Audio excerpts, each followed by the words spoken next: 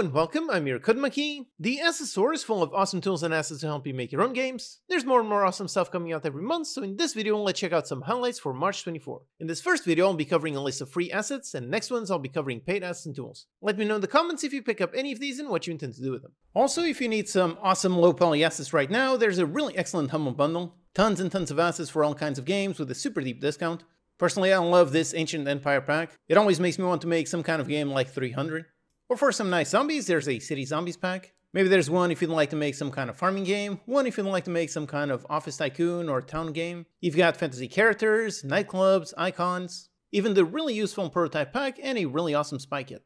So as you can see, tons and tons of really awesome low poly assets help you make pretty much any game you can imagine. All of it at a pretty low price, just 25 bucks. So go ahead and get it with the link in the description. Alright, so on to the top 10 list, starting off with a really awesome visual effect that looks just like VHS. It's got quite a few options to add scan lines and some glitchy movement. It looks very good, definitely looks exactly like VHS, so if that's the style you're working for then this would be perfect. This one works with the volume system, so it's a super easy post-processing effect that you can easily add to any game. Then if you're making a mobile game and you want a quick and easy virtual joystick, check out this one. It is exactly what you expect. It's a virtual on-screen joystick, you just drag it onto your project and works right away. You can click, drag to move, shoot, and do whatever you want and it also includes support for multiple joysticks. Now this is something that I've been wanting to cover in a tutorial for ages, but if you don't want to take the time to build yourself, you can just use this free asset. Next, for a fun visual, here is an ice cream truck. It's a pretty nice model, it's low poly with a bunch of colors. Growing up, I loved playing a game called Lemonade Tycoon where you sold lemonade from a van and customers showed up, so I could see a game just like that being made with this truck model.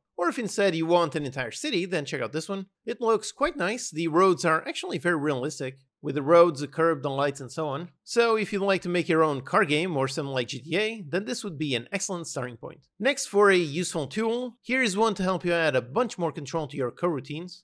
This is basically a timing system that has a bit more control, like giving it a custom delta time or updating in a specific order. Normally I build my own timing systems for my games. For example, on Dinky Guardians, I have a timing system specifically to handle the off-world logic, but if you don't want to build it yourself, then this could be a great help. Then for another fun visual, here is a low poly excavator. I quite like this style. It's very low poly with some solid bright colors. It's split into pieces so you can very easily animate it. Looking at this makes me want to make a fun machine control script. I think that would be interesting. And then if you want to take this further, this dev has tons more machines in the exact same style. Next, here's a super useful tool. It's a scriptable object table view. This one is pretty simple and does exactly one thing very well. You can select a scriptable object type and it shows you a table with all the objects in all the fields. If you use a lot of scriptable objects in your game, then a tool like this one can really help save you a ton of time from having to swap between objects back and forth. Then for another fun visual, here's a low poly zombie hospital character. This could be great for an enemy in some kind of hospital zombie game, maybe something inspired by episode 1 of The Walking Dead. And if you want some more, then this dev has an entire zombie hospital pack. Then if you want to make your worlds come alive, one way to do that is to add some trees to your world. Here's a free pack with a whole bunch of different ones. There's actually a ton of variety, over 60 trees and bushes in this one free pack. With all different colors, you could very easily make all kinds of biomes. And then if you're making a game set inside the human body, check out these virus models. There's some spiky round ones, some that are tiny and some with some creepy tentacles. I can imagine a game kind of like an RTS where you control the body's defenses against these viruses. With all of these model differences, if you apply some different materials with some scale differences,